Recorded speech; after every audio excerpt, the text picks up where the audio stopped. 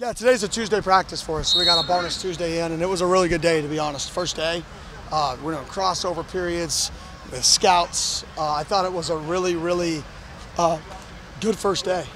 Uh, now, can you sustain that? Can you continue to bring that effort? Can you continue to stay organized, stay focused? That's the challenge. How does, how does this team feel at this time of year compared to last year's team? Yeah, uh, I, I don't want to say something about last year's team. This year's team is focused, man. They love football. They absolutely love football. It's not just they like it when they're on the field. It's not just they like it when they post on social media. They love football. This year's team, they come out here and they work, and it's pretty consistently they'll work. And the leaders of this team love football. Like, this is what they do. Like, all the time they're thinking about it. Like, they're texting me. They're up in the facility. I see guys with their cars parked outside at 6.30 a.m. getting treatments. Like, they just love everything that goes with football. And I think then you have a group of guys that necessarily don't love it that much, but when you have those leaders who love it, it just raises the standard of everybody else. So is the culture then like to the expectation that you set out going into the season? Yeah, I mean, we'll find out. I think going into the season, we're right where, to be honest, I would have liked to be uh, 18 months ago. I think we're right around, you know, I think we've got like minded people on our team. I think we've upgraded the talent from uh, when we got here, the depth uh, from when we got here. I think we're a better football team from when we got here. So I do think we're we're better. I think that's all you're trying to be is just consistently better than you were. And uh, I feel confident that we're uh, definitely a much improved football team. Some coaches, week one, uh, like to be conservative with the play calling, not show too much of the playbook. What was your approach last year, and how do you approach that next year? Yeah, the first play of the season is going to be a swinging gate. so, uh, you know, it's, it's swinging gate. We got seven different variations of swinging gate in, just like last year. Uh, we may run them all. Hey, Coach, uh, the running backs have been one of the deeper parts of this roster. What have you seen from them, both in practice and also outside as people? Yeah. Obviously, that last comment was a joke, kind of. Unless you're Wyoming listening, then it's the truth, maybe. Right. Uh, in terms of the running backs, uh, the depth in that room, you know, drastic difference from last year. The depth in that room uh, is really, really good for us, and that's going to keep us fresh throughout the end, throughout the end of games. You know, when Scott has to run, carry the ball 28, 30 times in a game last year at times, and we're wondering why he's he's not hitting his top speed. Well, there you go. Uh, he's carrying the ball 38, 26, 22 times in a game. Uh, we've got to be able to balance that workload uh, for our backs so they all stay fresh. When they touch the ball, right, you're getting a fresh guy having the football, not just from a running perspective, from a ball security perspective. And then, Coach, the energy as well. I know you talked about that. Obviously, there's going to be days where guys are down, but it seemed like with the leaders, to piggyback off what you're saying there, but just kept the energy up all throughout camp. How do you feel that the rest of the team has got on Yeah, it's hard to convince people to love football, right? You can create an environment that gets people to love it, but eventually, whatever environment you create, football is a hard game. We can have more fun than anybody working harder than anybody in the country, but football is hard. Like it's difficult, it's challenging, and we can make it fun. We can do competitions, but if you don't love the process, right, there's going to be days that you're down. So I truly believe you have to recruit to people that love the game. And I know everybody says that, but do you actually do it is is the hard part. Do you actually say, well, this guy's an inch taller, but this guy loves the game this much more. Who do you take, right? And you have to be willing to to take those guys that you think just love this game with a passion, uh, and that they're going to overcome maybe some of their physical obstacles because their passion, their intelligence. Bouncing off of that, how difficult was it deciding what the scout team was going to necessarily look like this year in comparison to your first year last year? Not very difficult. I mean, the only difficulty was the amount of people last year that we had. We didn't have enough people to really run a scout team. I mean, we're in week six and we have a, a left or a tight end playing left tackle on the scout team, and we only have one more guy, another tight end playing the other backup sixth role, and then we wonder why our defense gets worse throughout the year. I mean, it's not it's not ironic that they don't get to practice football and then they're not good as good at football. Right? The only way to get good at something is to do it and to practice it over and over again. Right? When you're a pro, you've done it so many times that you don't need to practice anymore. It's nature. It's what you do.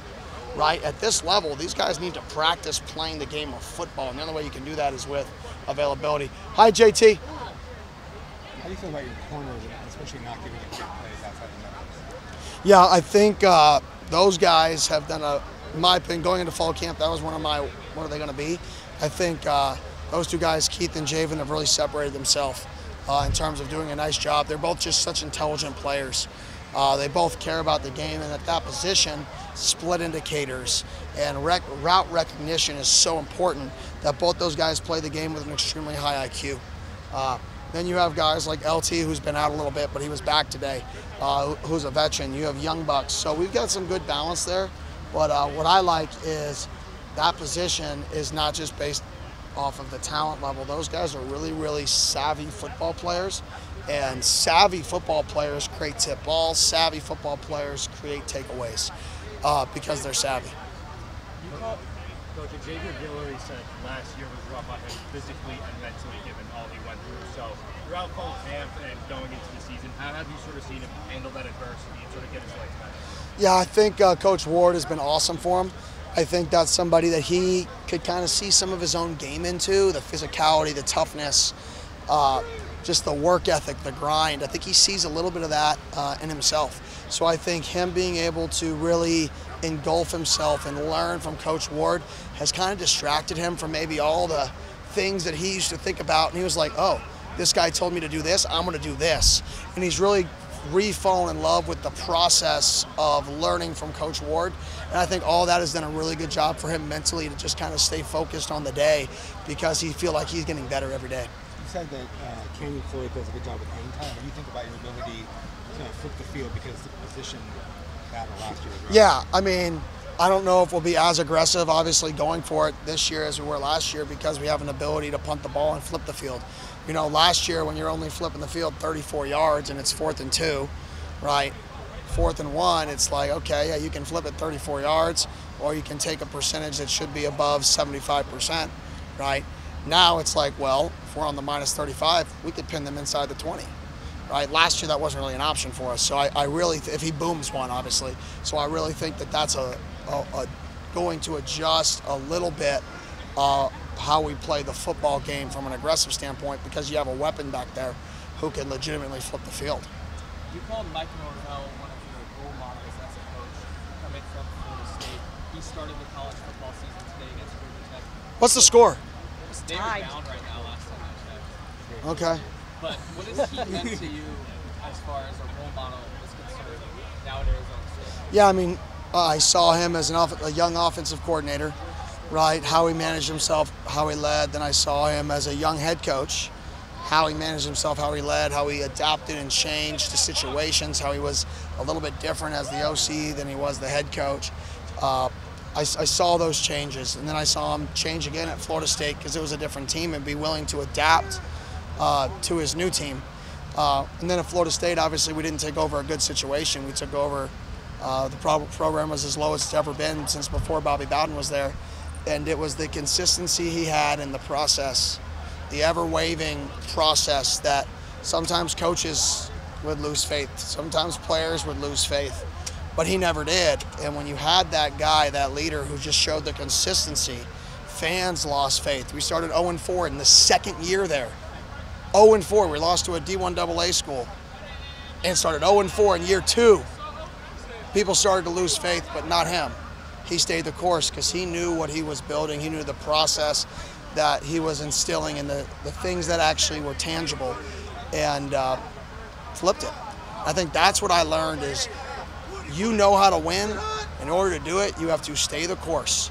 You can't keep going different directions because there's pressure or because people don't like where you're at. You have to stay the course. In order to get somewhere, keep going. You can't turn around. 21 all with four minutes left. 21 all, four minutes to go. Any other questions so I can go watch the end of this? All right, see y'all later.